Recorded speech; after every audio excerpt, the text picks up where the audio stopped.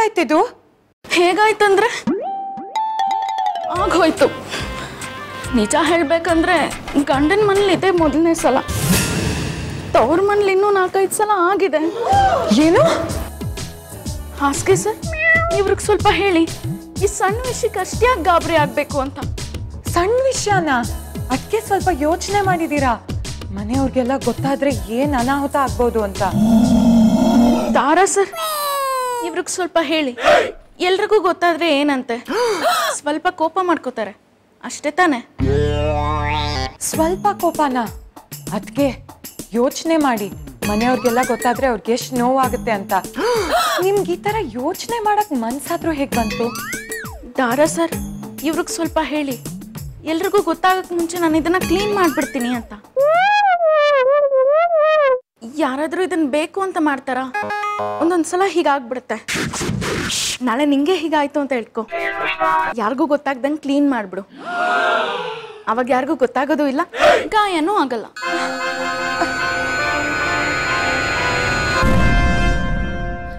Glass sir. ಹೀಗ್ಯಾಕಾಯ್ತು? ಅಷ್ಟು ಸಣ್ಣ ವಿಚಾರಕ್ಕೆ ಅವ್ರು ಯಾಕೆ ಅಷ್ಟು ಗಾಬರಿ ಮಾಡ್ಕೊಂಡು ಹೋದ್ರು? ನನಗೆ ಕ್ಷಮಿಸ್ಬಿಡಿ.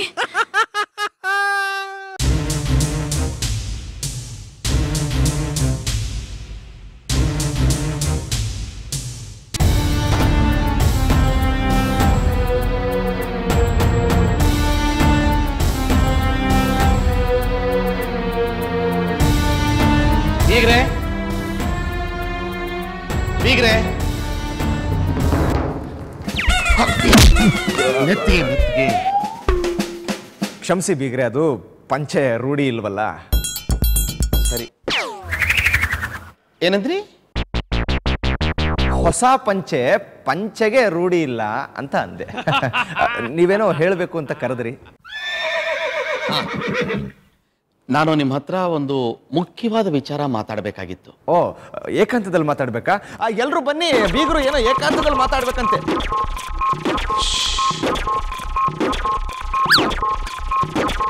ನಾನು ನಿಮ್ಮ ಹತ್ರ ಮಾತಾಡಬೇಕು ಅಂತ ಅಂದಾಗೆಲ್ಲ ನೀವು ಎಲ್ರೂ ಯಾಕೆ ಕರಿತಾ ಇದ್ದೀರಿ?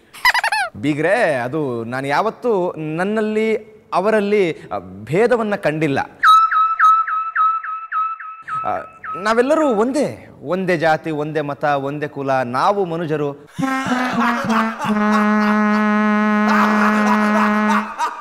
ಕೇಳಿಲ್ವೇ ಭಾವಗೀತೆನ? ಆದರೆ ಬೀಗ್ರೆ ನಾನು ಹೇಳಬೇಕು ಅಂತಿರೋದು ಒಂದು ಸತ್ಯವನ್ನ. ಸತ್ಯವನ್ನ ಕೇಳೋದು ಕೋಟಿ ಪುಣ್ಯಕ್ಕೆ ಸಮಾನ. ಹೇಳಿ. ಆದರೆ ಇದು ಬರೀ ಸತ್ಯ ಅಲ್ಲ. ಕೇಳೋದಿಕ್ಕೆ ಕಷ್ಟವಾಗತ್ತೆ. ಪೂರ್ಣ ಸತ್ಯ ನಗ್ನ ಸತ್ಯ. ನಗ್ನ?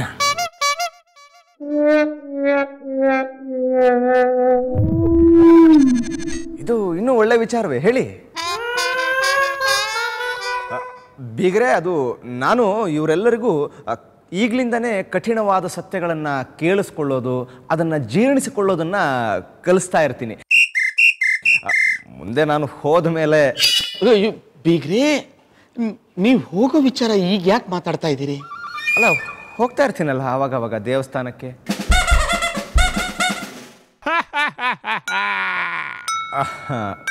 ನೀವು ಹೇಳಿ ಬೀಗ್ರೆ. ಅದು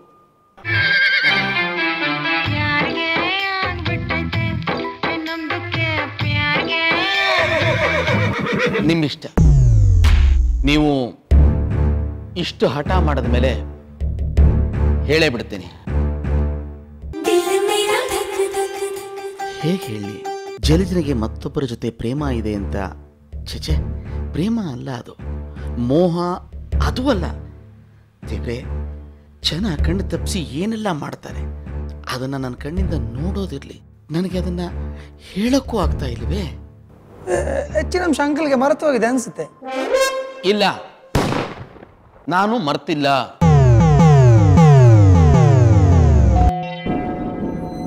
ಆಗ್ಲಿ ಬಿಗ್ರೆ, ಸಿದ್ಧರಾಗಿ. ಕೇಳೋದಿಕ್ಕೆ ಸಿದ್ಧರಾಗಿ ಹಿಂದೆ ಬೀಗ್ರೆ, ನಿಮ್ಮ ಎರಡನೆಯ ಸೊಸೆ ಜಲಜ. ನನ್ನ ಬೆನ್ನ ಹಿಂದೆ ಏನು ಮಾಡ್ತಾ ಇದ್ದಾಳೆ ಅಂತ ನಿಮ್ಮ ಅರಿವಿಗೆ ಬಂದಿದೆಯಾ? ನನಗೆ ಅದ್ರ ಬಗ್ಗೆ ಸಂಪೂರ್ಣವಾಗಿ ಅರಿವಿದೆ. ಏನು ಹೇಳ್ತಾ ಇದ್ದೀರಿ ನೀವು? ಹಾ ನಿಸ್ಸಂದೇಹವಾಗಿ ಗೊತ್ತಿದೆ. ಜಲಜ ಜಾರಿದಾಳೆ ಅದು ನಿಮ್ಗೆ ಹೇಗೆ ಗೊತ್ತಾಗಿದೆ? ಹೇಗೆ ಏನು ಬಂತು ಬೀಗ್ರೆ ನಾನು ಖುದ್ದಾಗಿ ನೋಡಿದ್ದೀನಿ. ಶಿವಕರ್ಮವೇ ನೀವು ನೋಡು ಇದ್ದೀರಾ? ನಾನೊಬ್ಬನೇ ಏನು?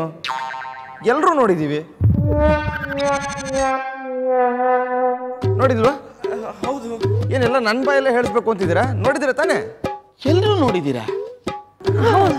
ನೋಡಿದೀವಿ ನೋಡಿದ್ರಾ? ಎಲ್ಲರೂ ನೋಡಿದ್ದಾರೆ. ಆಶ್ಚರ್ಯ.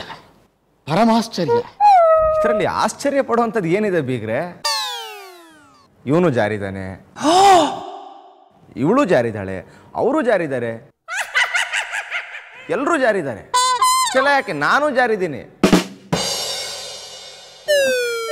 ಬೀಗ್ರ ನಾನು ಹಿಂದೊಮ್ಮೆ ಜಾರಿದ್ನಿ ಹೌದು. Up. up! Ho up! Ho up! ಹೀಗ್ರೆ ಸರಿಯಾಗಿ ನೆನಪಿಸ್ಕೊಳ್ಳಿ. ನೀವು ಜಾರಿ ಇರ್ತೀರ ನೆನಪಾಯ್ತಾ? ಜಾರಿಲ್ವಾ? ಇಲ್ಲ.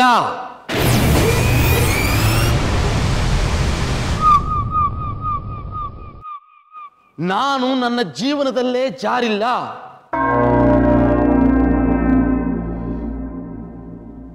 ಹುಷಾರ್.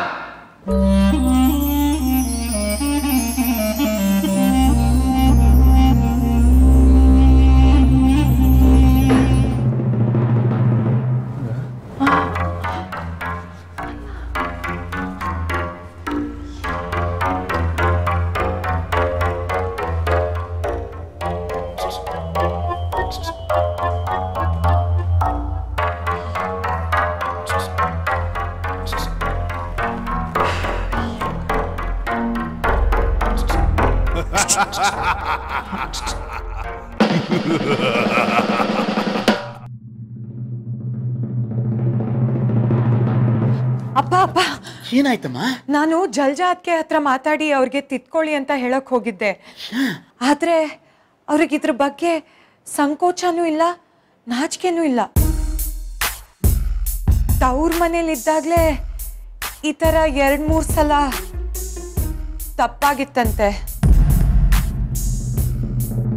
ಅತಿ ಇಲ್ಲಿ ಒಂದು ಮೀನು ಕೊಳ್ತಿಲ್ಲಮ್ಮ ಈ ಕುಟುಂಬದ ಎಲ್ಲ ಮೀನು ಕೊಳ್ತಿದೆ ಆದ್ರೆ ಅಪ್ಪ ಸತ್ಯ ಅವ್ರೆಲ್ಲರ ತರ ಅಲ್ಲ. ಇಲ್ಲಮ್ಮ, ಇಲ್ಲ. ಅವನಿಗೆಲ್ಲ ವಿಷಯ ಗೊತ್ತಿದೆ. ಅವ್ರೆಲ್ಲರೂ ಒಪ್ಕೋತಾ ಇದ್ದಾಗ ಅವ್ರ ಜೊತೆ ಸೇರಿ ಇವನು ಹೋಗ್ಬಿಡ್ತಾ ಇದ್ದ. ಅಲ್ಲಮ್ಮ, ಇನ್ನು ಸ್ವಲ್ಪ ದಿನದಲ್ಲಿ ನೀನು ಸತ್ಯನ ಕೈ ಹಿಡಿದು ಅವ್ರ ಕುಟುಂಬ ಸೇರ್ತಾ ಇದ್ದೆ. ಅವ್ರ ಸಂಸ್ಕೃತಿ, ಆಚಾರ, ವಿಚಾರ ಎಲ್ಲ ಮೈಗೂಡಿಸ್ಕೊತಾ ಇದ್ದೆ. ಆದ್ರೆ ಇಲ್ಲಿ ಏನಿದೆ ಮೈಗೂಡಿಸ್ಕೊಳಕ್ಕೆ ಮದುವೆ ಮಾತೇ ಇಲ್ಲಮ್ಮ. ನಾನು ನಿರ್ಧಾರ ಮಾಡಾಗಿದೆ.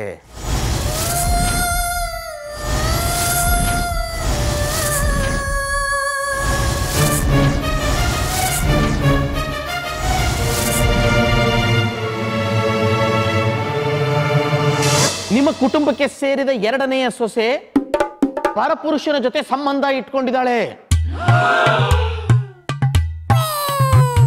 ಆದ್ರೆ ಜಲಜ ಅವರು ಬೀಳುವುದಕ್ಕೆ ಕೆಲವು ಕ್ಷಣಗಳ ಮುಂಚೆ ಶ್ರೀಮಾನ್ ಶೆಟ್ಟಿ ಅವರು ಏನೋ ಹೇಳುವ ಪ್ರಯತ್ನದಲ್ಲಿದ್ದರು. ನಿಮ್ಮ ಸೆಂಡಿ ಒಣಮೀನ್ ತರ ಇದೆ. ಅಲ್ಲ ಈ ಜಲಜ ಜಾರ್ ಬಿದ್ದಿದ್ದಕ್ಕೆ ಅಂಕಲ್ ಯಾಕೆ ಅಷ್ಟೊಂದು ಕೂಗಾಡಿದ್ರು? ಅದೇನಷ್ಟು ದೊಡ್ಡ ವಿಷಯ? ಅದೇ ನನಗೂ ಅರ್ಥ ಆಗ್ತಿಲ್ಲ. ಅವಳು ಜಾರದ್ಲು ಆದ್ರೆ ಬೀಳ್ಲಿಲ್ವಲ್ಲ? ಬಿದ್ದಿದ್ರೆ ಅವಳೇ ಹೇಳ್ತಾ ಇದ್ಲು. ಇಲ್ಲ ಅಂದಿದ್ರೆ ನಾವು ನೋಡ್ಕೋತಿದ್ವಿ. ಅದಕ್ಕೆ ಯಾಕೆ ಅಷ್ಟೊಂದು ಕೂಗಾಡ್ಬೇಕಾ? ಅದು ಕೂಡ ಚಿಂತಿಸಬೇಕಾದ ವಿಚಾರವೇ ಸರಿ. ಅರ್ಥ ತಾತ್ಪರ್ಯದ ಬಗ್ಗೆ ಕೂಡ ಚಿಂತಿಸಬೇಕು. ಆದರೆ ಜಲಜ ಅವರು ಬೀಳುವುದಕ್ಕೆ ಕೆಲವು ಕ್ಷಣಗಳ ಮುಂಚೆ ಶ್ರೀಮಾನ್ ಶೆಟ್ಟಿ ಅವರು ಏನೋ ಹೇಳುವ ಪ್ರಯತ್ನದಲ್ಲಿದ್ದರು. ಆ ವಿಚಾರ ಏನು ಎಂಬುದನ್ನು ಮೊದಲು ನಾವು ತಿಳಿದುಕೊಳ್ಳಬೇಕು. ಏನಾದ್ರೂ ಹೇಳಂಗಿದ್ರೆ ಹೇಳ್ಬೇಕಿತ್ತು. ಕೂಗಾಡೋ ಅವಶ್ಯಕತೆ ಏನಿತ್ತು?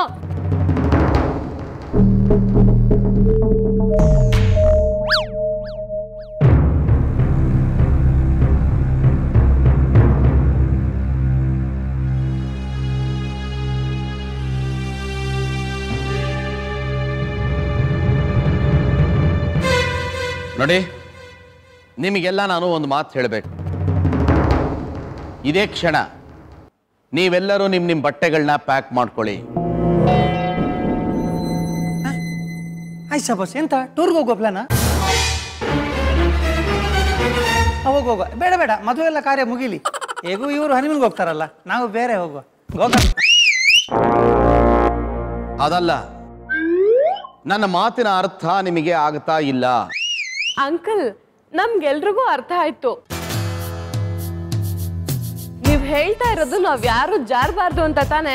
ಇನ್ಮೇಲ್ ನಾವ್ ಯಾರು ಜಾರೋದಿಲ್ಲ, ಓಕೆನಾ? ಇನ್ನು ಯಾವ ಮಟ್ಟಕ್ಕೆ ಜಾರಬೇಕು ಅಂತ ಅಂದ್ಕೊಂಡಿದ್ದೀರಿ ನೀವು ಹಾಗಾದ್ರೆ? ಒಬ್ಬ ವ್ಯಕ್ತಿ ಯಾವ ಮಟ್ಟಕ್ಕೆ ಜಾರ್ಬೋದೋ ಆ ಮಟ್ಟಕ್ಕೆ ನೀವು ಜಾರಿ ಆಗಿದೆ.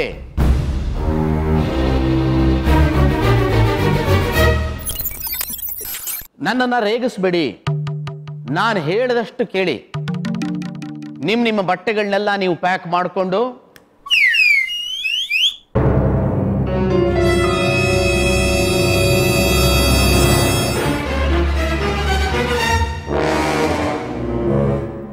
ಬೀಗ್ರ ನೀವ್ ಯಾಕೆ ಚಿಂತೆ ಮಾಡಕತ್ತೀರಿ? ನಾವಿಲ್ಲಿ ಮನ್ಯಾಗ ಭಾಳ ಆರಾಮಾಗಿದ್ದೀವ್ರಿ ಹಾ? ನಾನು ಏನು ಹೇಳ್ತಾ ಇದ್ದೀನಿ ಅನ್ನೋದು ನಿಮ್ಗೆ ಅರ್ಥವಾಗ್ತಾ ಇಲ್ಲ. ದಯವಿಟ್ಟು ನೀವೆಲ್ಲರೂ ಈ ಮನೆಯಿಂದ ಹೊರಡಿ. ಅಷ್ಟೇ. ಯಾಕಂದ್ರೆ ನಿಮ್ಮ ಕುಟುಂಬದ ಎರಡನೆಯ ಸೊಸೆ ಬೀಗರೆ ಒಪ್ಕೋತೀನಿ. ನನ್ನ ಎರಡನೆಯ ಸೊಸೆ ಒಂದು ಸಣ್ಣ ತಪ್ಪು ಮಾಡಿದಾಳೆ. ಅದಕ್ಕೆ ಇಷ್ಟೊಂದು ಸಿಟ್ಟಾಗೋ ಪ್ರಮೇಯ ಇಲ್ಲ ಅಂತ ನಾನು ಅಂದ್ಕೋತೀನಿ. ಅಲ್ಲ, ತಪ್ಪು ಮನುಷ್ಯನಿಂದಾಗದೆ ದೊಡ್ಡಾಳದ ಮರದಿಂದ ಆಗುತ್ತೇನು ನೀವ್ ಏನ್ ಹೇಳ್ತಿದ್ದೀರಿ ಅನ್ನೋದು ನಿಮಗಾದ್ರೂ ಅರ್ಥವಾಗ್ತಾ ಇದೆಯಾ? ನಿಮ್ಮ ಕುಟುಂಬಕ್ಕೆ ಸೇರಿದ ಎರಡನೆಯ ಸೊಸೆ ಪರಪುರುಷನ ಜೊತೆ ಸಂಬಂಧ ಇಟ್ಕೊಂಡಿದ್ದಾಳೆ.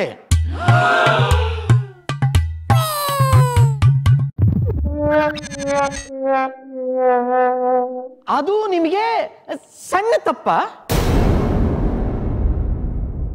ಅವಳು ರಾತ್ರಿ ಮಲಗಿರಬೇಕಾದ್ರೆ ಸ್ವಾಮಿ ಅನ್ನೋ ಹೆಸರನ್ನ ಹೇಳ್ಕೊಂಡು ಕನವರಿಸ್ತಾಳೆ. ಇನ್ನು ಎರಡು ದಿನಕ್ಕೆ ಅವನು ಈ ಮನೆಗೆ ಅವಳನ್ನ ನುಡ್ಕೊಂಡ್ ಬರ್ತಾನೆ. ಇಬ್ರು ಮನೆ ತುಂಬಾ ನಲ್ಕೊಂಡು ನುಳ್ಕೊಂಡು ನಗನಗ್ತಾ ಓಡಾಡ್ತಾರೆ. ನಿಮ್ಮೆಲ್ರಿಗೂ ಏನು ಅನ್ಸೋಲ್ಲ ಅಲ್ಲ?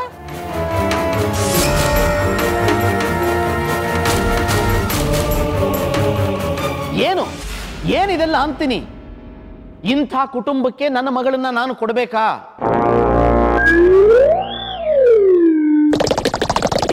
ಯಾತಕ್ಕೆ ಕೊಡಬೇಕು? ಸಾಕು. ಈ ಮಾತನ್ನ ಇನ್ನು ಬೆಳೆಸೋದು ಬೇಡ. ನಿಮ್ಮೆಲ್ರಿಗೂ ಇನ್ನು ಹದಿನೈದು ನಿಮಿಷ ಟೈಮ್ ಇದೆ. ಅಷ್ಟರಲ್ಲಿ ನೀವು ನೀವು ನಿಮ್ಮ ಬಟ್ಟೆಗಳನ್ನ ಪ್ಯಾಕ್ ಮಾಡಿಕೊಂಡು. ಅಷ್ಟೇ.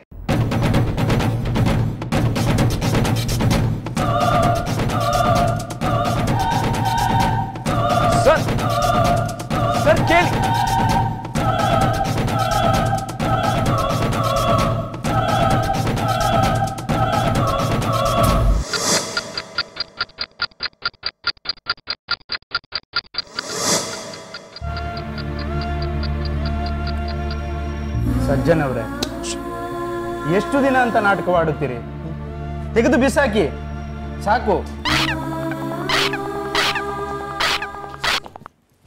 ಲೇ ಗೂಬೆ ಯಾರು ನಿನಗೆ ಲವ್ ಮಾಡ್ಬೇಡ ಅಂತಂದಿದ್ದು? ಆದ್ರೆ ಅದನ್ನ ನಿದ್ದೆಯಲ್ಲಿ ಬಡ್ಬಡಿಸ್ಬೇಕಿತ್ತ. ನಮ್ಮ ಹತ್ರ ಎಚ್ಚರವಾಗಿದ್ದಾಗೇನೆ ನೀನ್ ಡೈರೆಕ್ಟ್ ಆಗಿ ಮಾತಾಡಲ್ಲ. ನಿದ್ದೆಲ್ ಡೈರೆಕ್ಟ್ ಆಗಿ ಮಾತಾಡಿ ನಮ್ ಕುತ್ತಿಗೆ ತಂದ್ಬಿಟ್ಟಿಯಲ್ಲೇ? ತುಪ್ಪಟ ಸರ್. ಅವ್ರಿಗೆ ಹೇಳಿ. ನಾನೇನ್ ದಿನ ನಿದ್ದೆಲ್ ಕನ್ವರಿಸ್ತೀನ ಆವತ್ತೊಂದಿನ ಹಂಗಾಯ್ತು ಅಷ್ಟೇ. ಅದ್ ಯಾಕೆ ಹಂಗಾಯ್ತೋ ನನಗೆ ಗೊತ್ತಿಲ್ಲ. ಅವತ್ ಜ್ಯೂಸ್ ಕುಡಿದ್ಮೇಲೆ ತಲೆ ಸುದ್ದಂಗಾಯ್ತು. ಚಕ್ಕರ್ ಬಂದಂಗಾಯ್ತು. ಅದಾದ್ಮೇಲೆ ಏನಾಯ್ತೋ ನನಗೆ ನೆನಪೇ ಇಲ್ಲ. ನಿನ್ನ ನಿನ್ನ ಹತ್ರ ಯಾರು ಹೇಳಿದ ಜ್ಯೂಸ್ ಕುಡಿಲಿಕ್ಕೆ? ಓ ದೇವ ಅದು ನೀನು ಕುಡ್ದದ್ದ? ಓ ಆಪ್ ಓ ಆಪ್. ನಾನು ಆರತಿಗೆ ಅಂತ ಮಾಡಿದ್ದು. ಅದರಲ್ಲಿ ನಿದ್ದೆ ಪುಡಿ ಬೆರೆಸಿದೆ ಗೊತ್ತಾ? ಇವ ನಿದ್ದೆ ಪುಡಿ ತಗೊಂಡು ಆರ್ತಿ ಕುಟ್ಟ್ಯೋ ನೀನು. ನಿಲ್ಲಬೇಕು ಅಂತ ಹೇಳಿ ಮಿಕ್ಸ್ ಮಾಡಿ. ನಿನ್ನ ಸರದ ಆಸೆಗೆ ನನ್ನ ಸರು ನನ್ನ ಜೀವನ ಹಾಳು ಮಾಡ್ತಾ ಇದ್ದಾಳೆ. And excuse me madam hello ನಿಮ್ಗೆ ಆ ಸ್ವಾಮಿಗೆ ಏನೋ ಇರ್ಬೋದು ನನಗೆ ಗೊತ್ತಿಲ್ಲ ನನಗೆ ಬೇಕಿಲ್ಲ. ಆದ್ರೆ ಅವನ್ನೇ ಕರಿಬೇಕಾ? ಮನೆಗೆ? ಮೆಹಂದಿ ಹಾಕಕ್ಕೆ? ಬಾಗಿಲ್ ಸರ್ ಅವ್ರಿಗೆ ಹೇಳಿ. ಮೆಹಂದಿ ಹಾಕೋ ಕರ್ಸಿದ್ದು ನಾನಲ್ಲ. ನನಗೂ ಆ ಸ್ವಾಮಿಗೂ ಯಾವ ಸಂಬಂಧನೂ ಇಲ್ಲ. ಅದೇ ಈಗಾಗಲೇ ನನಗೆ ಎಂಗೇಜ್ಮೆಂಟ್ ಆಗಿದೆ. ಅವರಿಬ್ಬರ ಹೆಸರು ಒಂದೇ ಆದರೆ ನಾನೇನು ಮಾಡಲಿ? ನನ್ನ ಸ್ವಾಮಿ ಹಂಪಿಲಿದ್ದಾರೆ. ಹ್ಮ್ ಆ ಕೊಂಪೆಯಲ್ಲಿ ಇತ್ಕೊಂಡು ನಿಮ್ಮ ಅಯ್ಯಪ್ಪ ಸ್ವಾಮಿ ನಮಗೆಲ್ಲ ಇಲ್ಲಿ ಪಂಪ್ ಹೊಡಿತಾ ಇದಾರಲ್ಲ. ಬೇರೆ ಯಾವ್ದಾದ್ರು ಒಂದು ದಾರಿ ಹುಡುಕ್ಲೇಬೇಕು. ಏನ್ ಮಾಡೋದು? ಹೆಂಗೆ? ನನ್ನ ಹತ್ರ ಒಂದು ಐಡಿಯಾ ಇದೆ. ಏನ್ ಗೊತ್ತಾ? ಉಪೇಂದ್ರ ಅವರು ಬುದ್ಧಿವಂತ ಫಿಲಮ್ ಅಲ್ಲಿ ಹೇಳಿದಾರಲ್ಲ ನಾನವನಲ್ಲ ನಾನವನಲ್ಲ. ಹಾಗೆ ಅವತ್ತು ಮಂಚದಲ್ಲಿ ಕನ್ವರ್ಸ್ತಾ ಇದ್ದಿದ್ದು ಜಲಜ ಅಲ್ಲ ವನಜ ಅವಳು ಅವಳಿ ಜವಳಿ ತಂಗಿ ಅಂತ ಹೇಳ್ಬಿಟ್ಟ. ಅದ್ರ ಜೊತೆಗೆ ಇನ್ನೊಂದಷ್ಟು ಸ್ಟೋರಿ ಬಿಲ್ಡಪ್ ಮಾಡೋಣ. ಜಲ್ಜನ್ ಕಂಡ್ರೆ ವನಜಂಗ್ ಹೊಟ್ಟೆ ಉರಿ. ಅದಕ್ಕೆ ಅವಳ ಜೀವನನ ಹಾಳು ಮಾಡೋದಕ್ಕೆ ಈ ತರ ಬಂದಿದ್ದಾಳೆ ಅಂತ ಹೇಳ್ಬಿಡೋಣ. ಹೆಂಗೆ? ಹೆಂಗೆ? ಸತ್ಯ? ಮತ್ತೆ ನಿಮ್ದು? ನನ್ನ ತಲೆಗೊಂದು ಏನೋ ಹೊಳಿತು. ಇವಳೆ ವನಜ ಸಾರಿ ಜಲಜ. ನೀನೊಂದು ಕೆಲಸ ಮಾಡು. ನೀನೊಂದು ಬೇರೆ ನಮ್ಮನೆಯದು ಡ್ರೆಸ್ ತೆಗಿ. ಅದನ್ನ ಹಾಕು. ಆಗ ನೀನ್ ಯಾರದೆ? ವನಜ. ವನಜಳಾಗಿ ನೀನು ಕಿಟಕಿಯಿಂದ ಜಂಪ್ ಮಾಡು.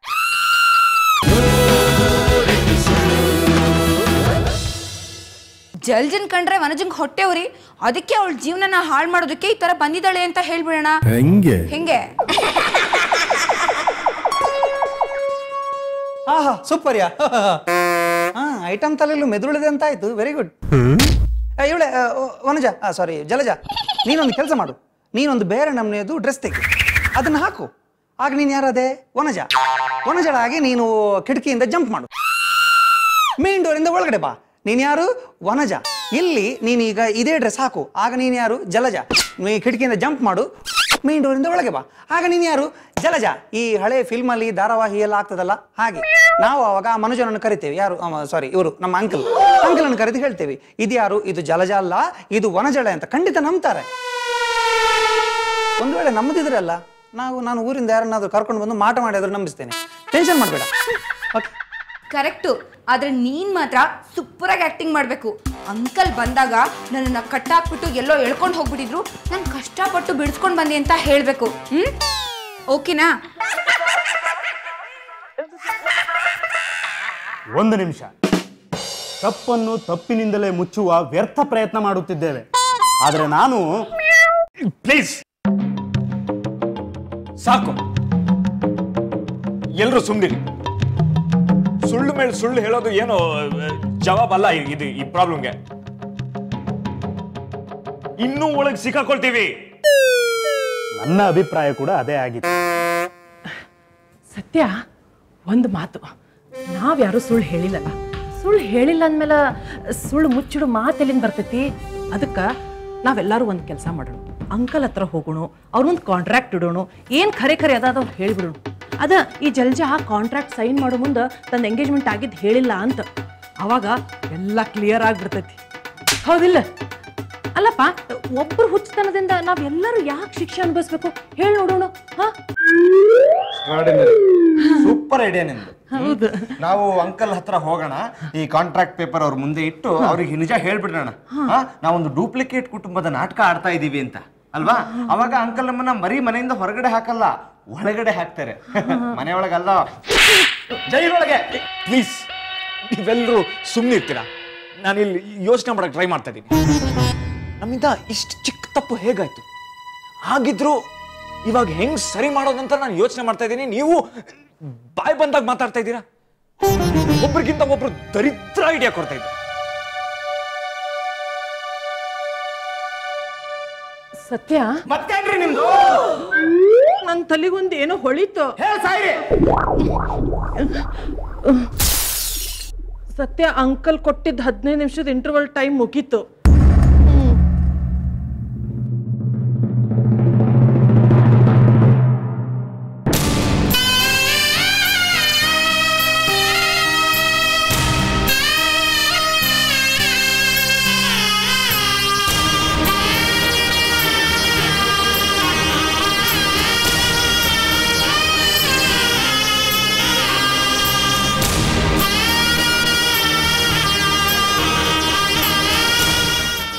ಬಂದಿದ್ದೀರಾ?